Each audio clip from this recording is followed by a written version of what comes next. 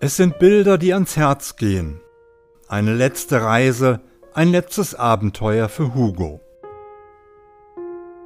Denn Hugo ist schwer krank und soll eingeschläfert werden. Als geliebtes Familienmitglied soll Hund Hugo ein letztes schönes Wochenende erleben.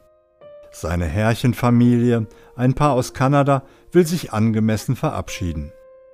Der langsame, schmerzhafte und emotionale Abschied wird gefilmt, sie stellen das Video ins Netz und es wird millionenfach angeklickt. Zum letzten Mal geht es für Hugo in die malerische Natur. Als Rettungshund in Rente wird Hugo adoptiert. Es folgen schöne Jahre, doch dann verschlechtert sich sein Gesundheitszustand.